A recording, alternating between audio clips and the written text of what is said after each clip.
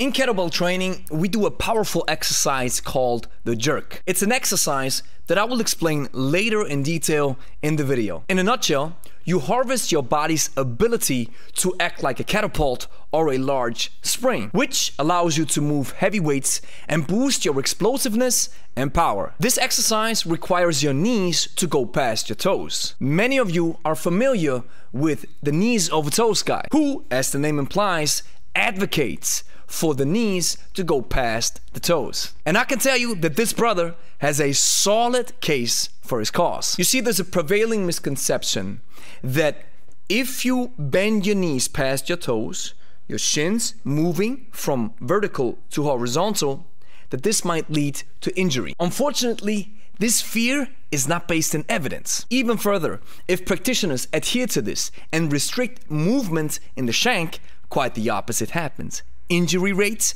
go through the roof. If you need a case study for this, just look at the NBA or the NFL. They experience a high rate of injuries, especially in the lower extremities. Matter of fact, this happens so frequently that the NFL has built their own special clinic to treat this problem. Why is that?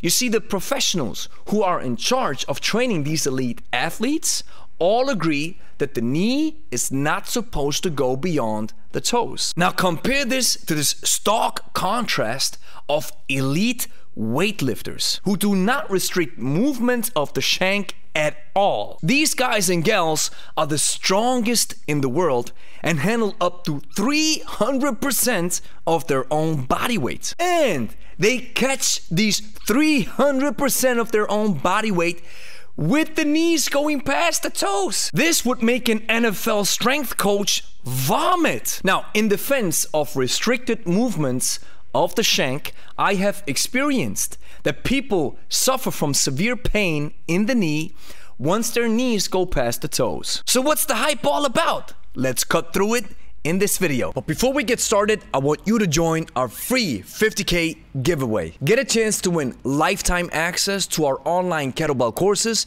valued over $2,000. Link is in the description.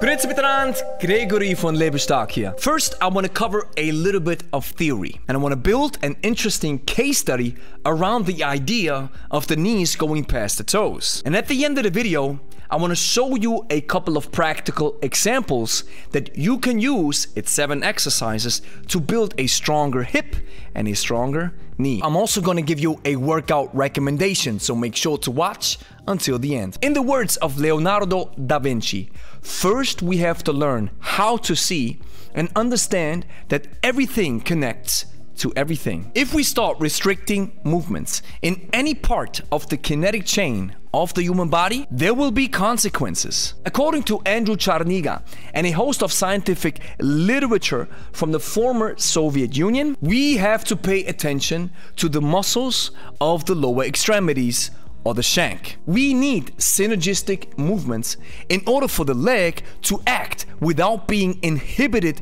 to do so. If you don't allow your knees to go past your toes, you essentially uncouple interdependent movement mechanics of the hip, knee, ankle chain. That lacking synergy will lead to a combination of issues.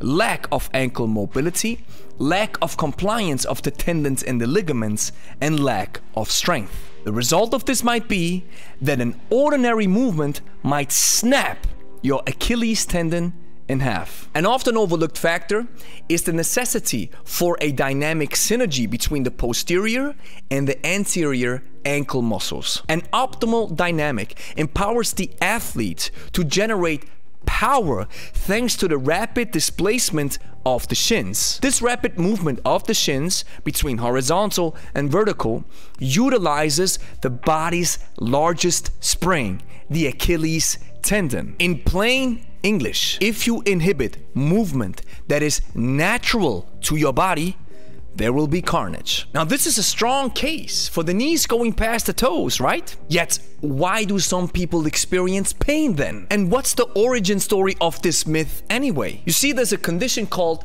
patellofemoral pain syndrome. This is a condition in which the cartilage under the kneecap is damaged due to injury or overuse. This syndrome is the most common cause for knee pain, and it's common in people who participate in sports. You see, when you bend the knee to a high degree, you create a lot of flexion, and this creates pressure on your kneecap. This might cause pain for people who already suffer from this patellofemoral pain syndrome. And since it is so common, a physiotherapist came up with a great solution. And that's the origin story of this myth. He told his patients to restrict movement in the shins ergo not letting the knees go past the toes. And he was right. I've experienced the same situation with some of our clients. We restricted movement as well because their knees were so painful. But here's the big difference. We did it temporarily and only in order to build strong hips. Later, we gradually introduce these clients back into full flexion and the knees going past the toes. Thanks to the strong hips, the pain was gone. So here's my conclusion. Weak muscles lead to overuse of other muscles. This might lead to conditions such as the patellofemoral pain syndrome. These people need to build strength and tolerance first. Restricting certain movements that hurt, such as knees going past the toes, might make sense in that case. If you don't, however, suffer from this kind of pain, or you have successfully built back tolerance and strength, do not restrict movement. We need the synergy of the shank muscles to work as a unit if we want to stay, train, walk, and be injury free. So, now with the theory out of the way, here are seven exercises that can help you build a stronger hip and a stronger knee. The exercises that I'm going to show you are in chronological order. The first ones are the lighter ones to do, and the latter ones are more difficult. Exercise number one is the hinge. This exercise works all of your hip muscles, loosens them up, gives them some mobility and strength. This is how it looks like. We push the hips back, the upper body leans forward while the spine stays straight.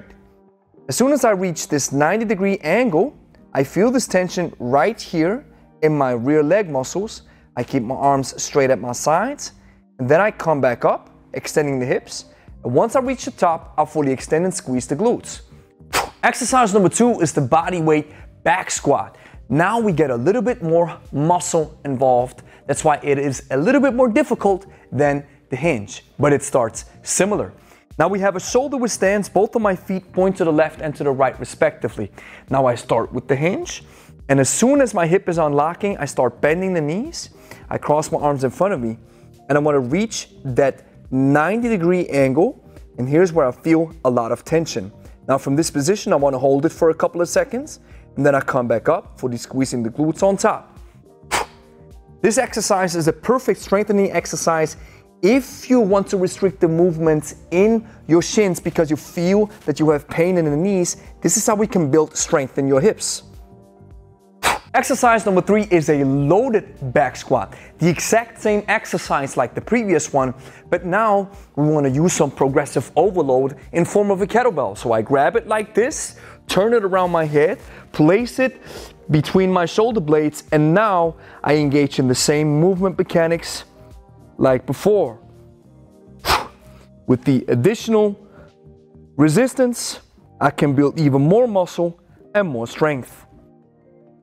With the first three exercises, we're able to build strong hips, even though we might have painful knees. But the strength of the hips will radiate down towards your knees. So as soon as you have built tolerance, here we come up with exercise number four, the hinge, squat, dip. You might remember that we talked about the necessity for synergy in the hip, knee, ankle kinematic chain. This is the perfect exercise. We start with the hinge, exercise number one. Now we melt it into a flow by engaging into the back squat. Now I dip my knees forward. Now I come back. Up into the hinge. And finish the exercise on top.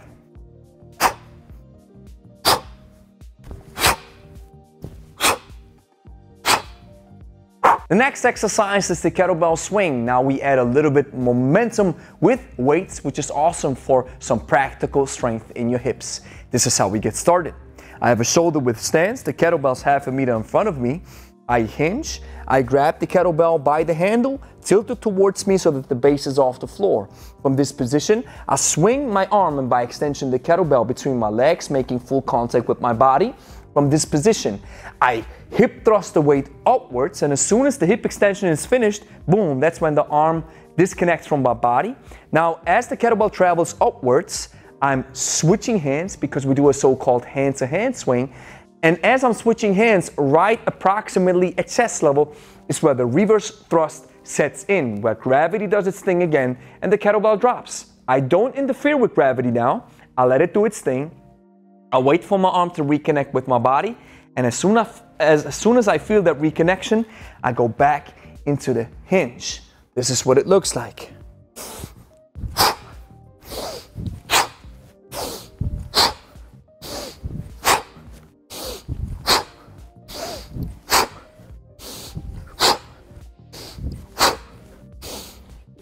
Exercise number six is the goblet squat, which simulates a front squat. And this exercise requires a displacement of the shins, a full flexion of the knees, and it's a great exercise to find out whether you have been able to build back enough strength and tolerance to have your knees go past your toes. This is what it looks like. You swing the kettlebell up and grab it by the bell itself, shoulder width stance, chest out, hinging a little bit, knees now track your toes. And as I reach that bottom position, I wanna go as far down as I can. Now, from this position, I come back up, breathing in, straightening the legs on top, coming back down, and back up, and squeeze those glutes at the top. If you're suffering from ankle mobility issues, use a wedge, place your heels on it, swing the kettlebell up, and now we engage into the goblet squat, and you'll be able to reach more depth. Even though this exercise is great to take the ankle mobility question out of the equation, don't forget to work on it as well. The last exercise is the most difficult one, the kettlebell jerk. I've mentioned this exercise at the beginning of the video.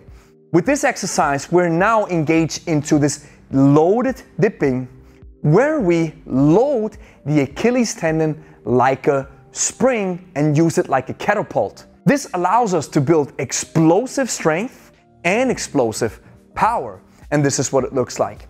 I clean the kettlebell up, inserting my full wrist inside the window of the kettlebell, keeping the arm close to my body. This arm-body connection is important because I want to transfer the energy coming from the legs into my arms. Now from this position, I'm dipping, pushing the knees forward. And as you can see now, the knees go above my toes, but I wanna make sure that my feet stay planted on the ground. Now this is how I load the spring. Now I engage into the bump where I fully extend the ankle, knee and hip joint and as soon as the kettlebell goes up, I want to catch it by falling back into that second dip, flexing the hip as well. Watch. As soon as I reach this position, I make sure that my shoulder is packed and now I finish in the top fixation.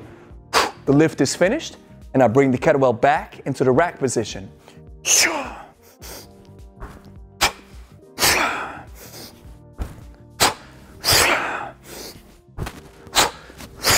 This rapid displacement of the shin where you're loading your body like a catapult is a obvious display of explosive strength and power. And on top of this, a fast relaxation in the second dip after a contraction is a sign of an elite practitioner. Now, if you're looking to combine these exercises that I just showed you into a simple workout, follow a minimalistic approach. Do one minute per exercise. And if you work both sides, split the volume equally between left and right. After you have done all exercises for one minute, take a dedicated minute of rest and then go a couple of rounds. So here's the next thing that you have to do. Like the video, consider subscribing, share it with your friends, and then go watch this video. We're all about kettlebells. And if you're interested in learning the basics with an easy tutorial and an easy workout, you can watch this video right here. It's gonna be worth your time. So check it out right now.